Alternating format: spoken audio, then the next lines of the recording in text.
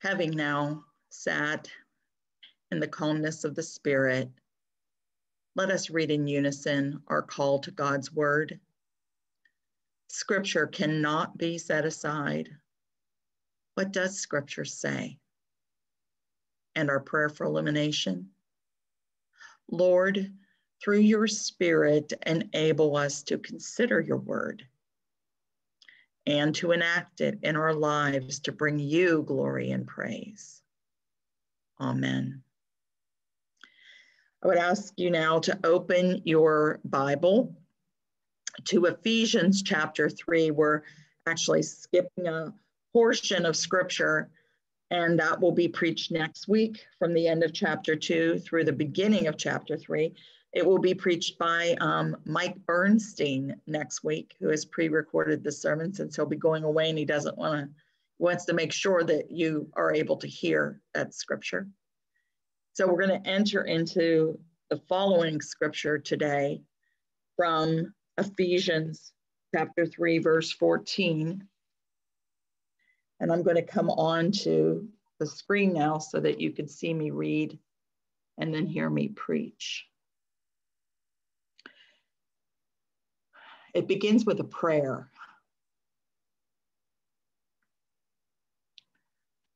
For this reason, I kneel before the Father, from whom every family in heaven and on earth derives its name. I pray that out of his glorious riches, he may strengthen you with power through his spirit in your inner being so that Christ may dwell in your hearts through faith. And I pray that you, being rooted and established in love, may have power together with all the Lord's holy people to grasp how wide and long and high and deep is the love of Christ and to know that this love surpasses knowledge, that you may be filled to the measure of all the fullness of God. Stop there for a moment with that portion of the reading and just take that in. We don't know what's going to transpire today, tomorrow, in these next few days, in this week. We know some things. We know the inauguration is coming. We have also gotten word of protests that are breaking out or may break out at Capitol buildings, both national and state. Just more this morning, I got an email from our presbytery saying that there may be certain churches that are of a more liberal bent that are targeted for potential violent actions taking out against them today. So we need to pray that everyone knows that we are united through God the Father by Jesus Christ the Son. But we don't know all things, but we do know God loves us. And that is the very good news. And after this prayer, then, Paul continues to give words about what it means to be in the family of God and to exhort us to unity and to peace. Hear these words now from verse 20 and on. Now to him who is able to do immeasurably more than we ask or imagine, according to his power that is at work within us. To him be the glory in the church and in Christ Jesus throughout all generations, forever and ever. Amen. And Paul ends that prayer there.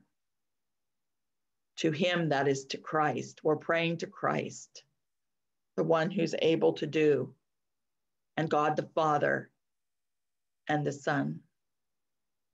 Tomorrow, we celebrate the natural national holiday of Martin Luther King Jr. Day, who fought, sounds funny to say it, but fought for peace. He didn't fight violently, he fought for peace. And we're at disposition now in our time of life and in this world with events that are coming. We need to pray as Paul did. And Paul continues. As a prisoner for the Lord, this is chapter four, beginning at verse one, then I urge you, I urge you to live a life worthy of the calling you have received. Listen to these words. Be completely humble and gentle. Be patient, bearing with one another in love. Make every effort to keep the unity of the Spirit through the bond of peace. There is one body and one spirit, just as you were called to one hope when you were called one Lord, one faith, one baptism, one God and Father of all, who is over all and through all and in all. Do you hear how we're called to humility and gentleness, patience, love, unity, and peace? It is up to us to live that way and up to those who say that they're Christians to live that way. This is according to the word of God that Paul is giving us. And it continues. Now I'm at verse seven. But to each one of us, grace has been given as Christ apportioned it. This is why it says, when he ascended on high, he took many captives and gave his gifts to the people, to his people. What does it, does he extended mean, mean except that he also descended to the lower earthly regions?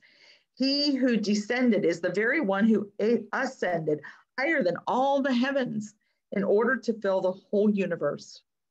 So Christ himself gave the apostles, the prophets, the evangelists, the pastors, and teachers to equip his people for works of service so that the body of Christ might be built up until we all reach unity in the faith and in the knowledge of the Son of God and become mature, attaining to the whole measure of the fullness of Christ.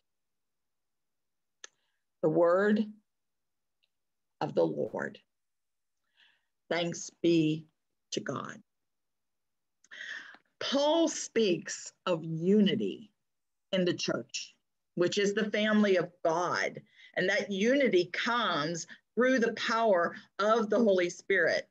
And that brings us into common union or communion, which we'll be celebrating today. This power that Paul speaks of is the power of love. The Spirit enables a powerful bond rooted in love. The spirit is a bodybuilder.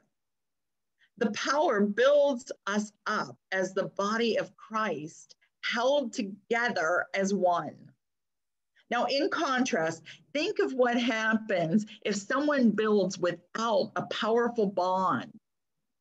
Castles of sand disintegrate, houses of cards fall, building blocks are easily toppled even by a small toddler and cookies crumble. Try baking with gluten-free flour. I've tried this once. Without a binding agent, cookies turn into a pile of dust when removed from the baking sheet. Try making balls of powder sugar covered wedding cookies with rice flour without xanthan gum or another binding ingredient and see. For this reason, the world is filled with products invented to hold things together. To name several that we might find in an office, I brought some with me. There are staplers, there's tape, rubber bands, paper clips. There are also threads to sew together seams of cloth, cords, ties, ropes. For building, there are nails, mortar, bolts, rivets, and gussets. There's super glue, strong epoxy, and welding.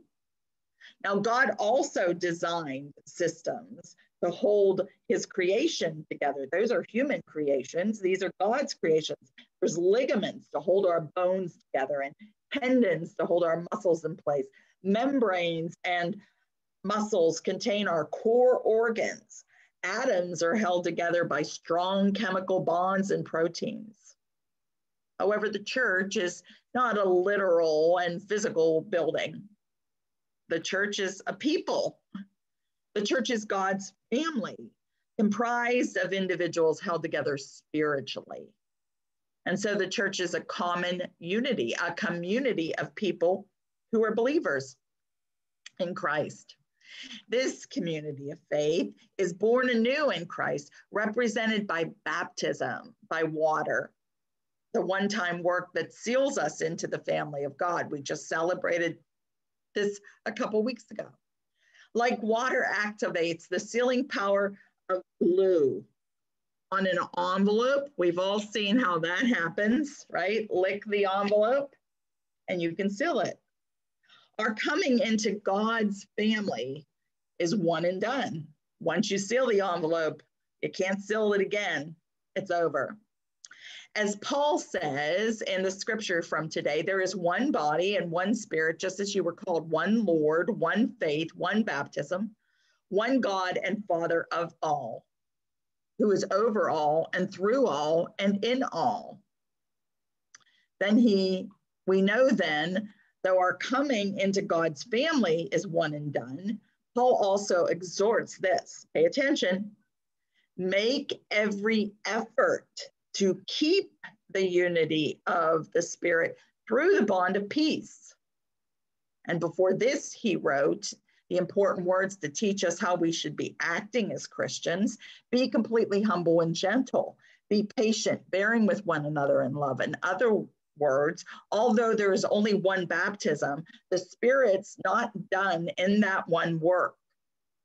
The Spirit continues to take us through a process of transformation. We are saved and marked for salvation. We have our inheritance in heaven, but we go through a continuous process of transformation with the Spirit that works within us.